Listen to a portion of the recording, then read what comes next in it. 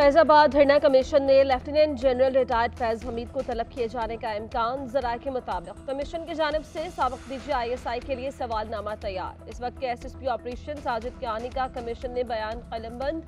साजिद क्यानी ने T L P के खिलाफ ऑपरेशन ने बरूनी मुदाखलत की तरदीद की।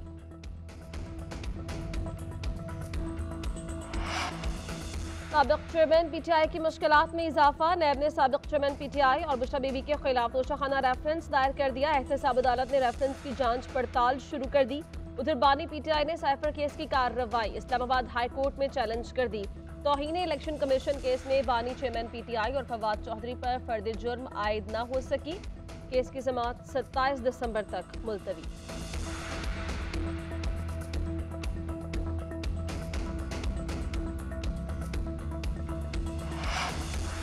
और सेनेट आयमा कमेटी खजाना में पाँच हज़ार का जाली note. Deputy governor state bank भी जाली नोट ना पहचान सके। चेयरमैन कमेटी सलीम आंदीवाला ने जाली नोट दिखाकर कहा, अगर मुझे ये मिल सकता है तो आम आदमी का क्या बनेगा?